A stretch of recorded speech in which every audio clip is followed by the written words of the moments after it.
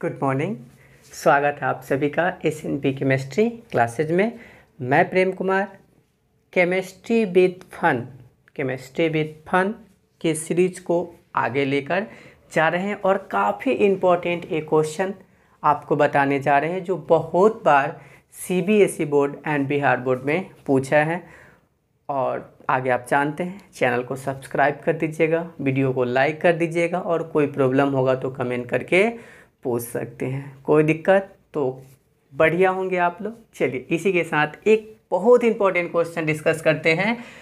दस मिनट के सीरीज़ में differentiate between molarity and molality of a solution how can be change molality value of a solution into molarity value question ये बोल रहा है कि मोलारिटी एंड मोला लिटी में क्या डिफरेंस है? क्या अंतर है? और कैसे आप चेंज करोगे एक दूसरे मोलारिटी और मोलालिटी को? तो मैंने दोनों लेक्चर बता दिया है मोलारिटी और मोलालिटी के बारे में। अगर आप नहीं देखे हैं तो केमिस्ट्री विथ फन सीरीज़ का प्लेलिस्ट में जाइए। पार्ट वन पार्ट टू देखिए मोलारिटी के बारे में पार्ट वन और पार्ट टू मोलालिटी के बारे में है, ठीक है? आप देख लीजिएगा। चलिए हम बताते हैं। बड़ा आसान सा, पढ़े होंगे तो कुछ खास बात नहीं है। मोलारिटी क्या होता है याद है? मोल पर लीटर। भाई मोल किसका? तो सॉल्यूट का। लीटर किसका? सॉल्यूशन का। तो बोलो it is defined as the number of moles of solute per litre of solution molarity को कैपिटल एम से डिनोट करते हैं तो क्या हो जाएगा? Number of moles of solute by volume of solution volume of solution क्या चीज़ में? इन लीटर में। चलो मोलालिटी क्या होता है? मोल पर केजी। मोल किसका? मोल किसका? सॉल्यूट का और केजी किसका? सॉल्वेंट का। तो किसी भी सॉल्वेंट के एक केजी में जितना number of moles of solute है, वही कहलाता है मोलालिटी। जबकि किसी सॉल्यूशन के एक लीटर में कितना नंबर ऑफ़ मोल है सॉल्यूट का, ये बता, बताता है मोलारिटी देख लीजिए it is defined as the number of moles of solute per K of solvent ये मोल पर लीटर और मोल पर के है। अब बता दीजिए मोलालिटी को स्मॉल एम से number of moles of solute by weight of solvent weight of solvent क्या चीज़ में? किलोग्राम में। चलिए, आपको पहले ही क्लास में बता चुके हैं कि जिन टर्म में, जिन कंसनट्रेशन टर्म में वॉल्यूम रिलेटेड होता है, वो टेम्परेचर पर डिपेंड करता है। और जो वॉल्यूम रिलेटेड नहीं होता, वो टेम्परेचर पर डिपेंड नहीं करता है। अब ज़रा आप बताइए, कहीं भी इसमें वॉल्यूम है? नहीं। तो it is in it is independent of temperature मतलब टेम्परेचर से स्वतंत्र है, आज़ाद है। इसको टेम्परेचर से कोई लेना देना नहीं है। तो टेम्परेचर से जब इंडिपेंडेंट है वॉल्यूम इसमें है नहीं तो अच्छा कंसनट्रेशन टर्म है। It is a good concentration term कोई प्रॉब्लम अब इधर आ जाते हैं। वॉल्यूम है? हाँ बिल्कुल है। और वो भी वॉल्यूम इनवर्सली प्रपोर्शनल भाई, इसको बढ़ाओगे तो ये घट जाएगा। इसका मतलब टेम्परेचर पर डिपेंड करता है। वॉल्यूम रिलेटेड टर्म है। टेम्परेचर को बढ़ाओगे तो मोलारिटी घट जाएगा। वॉल्यूम को बढ़ाओगे तो मोलारिटी घट जाएगा।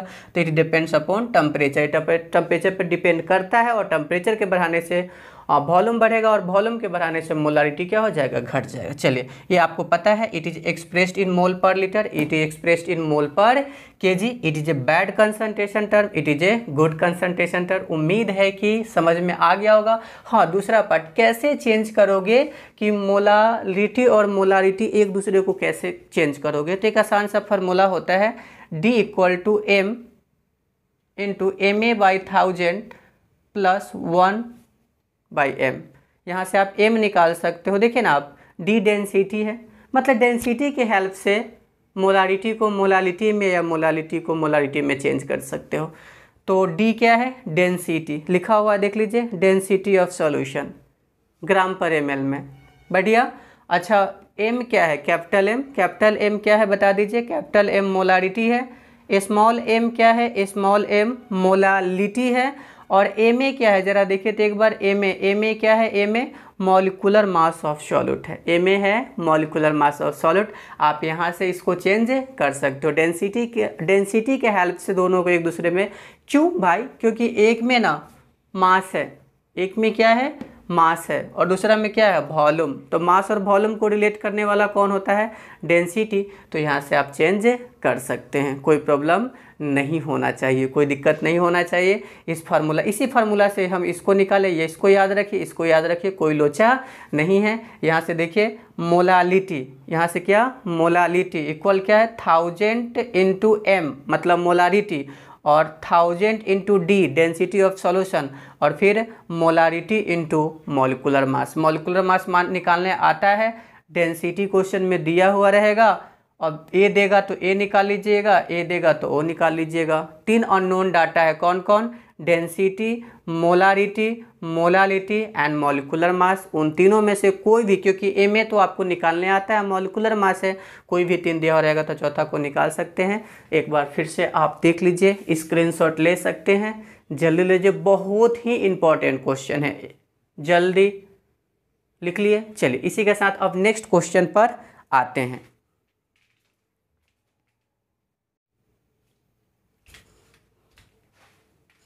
चलिए, एक और क्वेश्चन देखते हैं जो काफ़ी इंपॉर्टेंट है। अभी भी आई कर सकते हैं सॉल्व करते हैं। जरा क्वेश्चन पढ़िए, दोनों बोर्ड के लिए काफ़ी इंपॉर्टेंट है। देखिए ए सॉल्यूशन ऑफ़ ग्लूकोज एक सॉल्यूशन है ग्लूकोज का। ग्लूकोज का मॉलिकुलर मास या मोलर मास 180 दिया हुआ है। इन वाटर वाटर में ग्लूकोज ठीक है? Is labelled as 10 percent by mass मतलब 10 परसेंट बाई मास है। What would be the molality and molarity of solution मतलब ये बोला है कि ग्लूकोज वाटर में टेन परसेंट बाई मास है। क्या है? बाई मास है। तो आपसे पूछ रहा है कि मोलालिटी मोलारिटी क्या होगा अगर डेंसिटी 1.2 ग्राम पर एमएल है? बढ़िया, चलिए।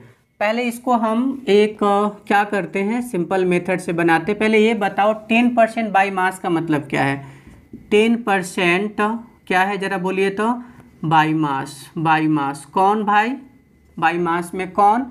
Glucose in water. Glucose in water.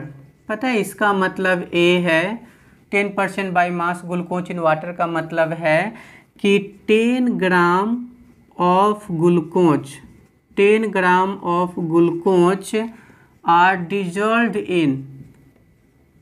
Dissolve in कितना? Hundred gram of solution. उम्मीद है कि आप समझ गए होंगे। इसका मतलब यही है कि 10 ग्राम ग्लूकोज जो है वो 100 ग्राम परसेंटेज का मतलब क्या होता है? सौ ही ना? भाई, कितना परसेंट है? टेन परसेंट तो बता रहा है कि दस gram glucose hundred gram solution में घुला हुआ है। चलो, अब यहाँ से ग्लूकोज क्या है? वेट ऑफ़ सॉल्यूट सॉल्यूशन कितना है? हंड्रेड।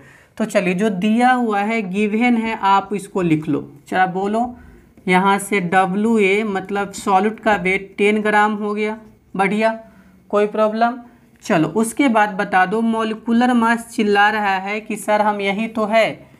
वन एटी बढ़िया। चलो, उसके बाद अगर आपको डब्लू भी पता हो जाता है तो मोला लिटी निकाल लोगे। तो निकल जाएगा ना सॉल्यूशन का दिया हुआ है। तो जल्दी बोलिए डब्लू बी कितना? Hundred minus ten gram. तो कितना हो जाएगा, ज़रा बोलिए तो? Ninety gram. अब आप पूछे, कैसे सर? अरे भाई ग्लूकोज अगर दस ग्राम है और टोटल हंड्रेड ग्राम है तो पानी कितना? वाटर कितना? बोलिए, नाइन्टी ग्राम, निकाल लिए।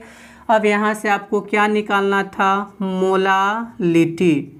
मोलालिटी स्मॉल एम बोलिए W A into thousand by M A into W B यही ना? बता दीजिए डब्लू ए कितना है? देखिए देखिए देखिए। टेन बढ़िया. इंटू थाउज़ेंड एम ए कितना है? एक सौ अस्सी. अच्छा. और डब्लू भी कितना है? नाइन्टी ठीक है? चलिए ए ज़ीरो से ए ज़ीरो मर गया. इस ज़ीरो से ज़ीरो शहीद हो चला है. अब ज़रा देखिए तो कुछ कटेगा? हाँ कटेगा. ए कितना हो जाएगा? फिफ्टी हो जाएगा. ए कितना हो जाएगा? ज़रा बताइए तो. फिफ्टी हो जाएगा और ए कितना हो जाएगा? नाइन हो जाएगा. मतलब आप देख लीजिएगा, ठीक है? तो यहाँ से अगर हम निकालेंगे तो ये फिफ्टी और नाइन इंटू नाइन कितना? एटी वन सोल्व कर लीजिएगा। सोल्व कीजिएगा तो ज़ीरो पॉइंट समथिंग आ जाएगा। ज़ीरो पॉइंट सिक्स के आसपास में आ जाएगा। Zero point six two small M फिर से समझ लीजिए। डब्ल्यू ए दस ग्राम एम ए एक सौ अस्सी दे रखा है। डब्ल्यू बी कितना हो जाएगा? नाइन्टी ग्राम। मोलालिटी होता है W into thousand M A into W B W A के जगह पर टेन पुट किए थाउज़ेंड था ही। एम ए कितना? एक सौ अस्सी और ये नब्बे। एक ज़ीरो से एक ज़ीरो यहाँ काट दिए, एक से यहाँ काट दिए। ऊपर में सौ बचा हुआ है। और नीचे में एटीन इंटू नाइन तो इससे कटे तो ये पचास हो गया नौ हो गया, नौ में नौ से मल्टीप्लाई किए एटी वन हो गया, इसको सोल्व करेंगे तो ज़ीरो पॉइंट सिक्स टू आ जाएगा। भाई, अभी एक ही पार्ट खत्म हुआ है, दूसरा पार्ट बचा हुआ। दूसरा पार्ट में क्या है? मोलारिटी। दूसरा पार्ट में क्या है? मोलारिटी। चलिए, अब ज़रा दूसरा पार्ट को देख लेते हैं कि मोलारिटी क्या होगा। तो बड़ा आसान सा तरीका, आप क्या काम करो, आप क्या काम करो कि मोलारिटी निकालना है ना तो दो मेथड है। मैं पहले सिंपल मेथड, और पहले आपको जिससे बनाना हो और फिर ऑब्जेक्टिव के लिए भी बता देता हूँ, ठीक है? चलो, आ जाओ। अब आपको पता है, अगर आपको मोलारिटी निकालना है तो वॉल्यूम चाहिए, क्योंकि बिना वॉल्यूम के बात बनेगा नहीं। तो उसने डेंसिटी तो दे रखा है ना? तो ज़रा बताइए तो आपको याद है, क्या होता है? तो यहाँ लिख देते हैं, density of solution. Density of solution बराबर क्या हो जाएगा? बोलो तो mass of solution mass of solution by क्या? बाई हो जाएगा volume of solution volume of solution बढ़िया। चलो बता दो। डेंसिटी कितना है? डेंसिटी देखो देखो देखो डेंसिटी 1.2 है। बढ़िया ना?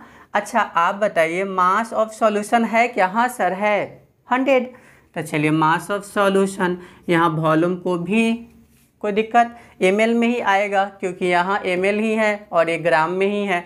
तो ज़रा बता दें, यहाँ से भी निकालेंगे तो कितना? Hundred by one point two बढ़िया, अब आप बता दो, क्या होता है formula molarity capital M W A into thousand by M A into V यही ना?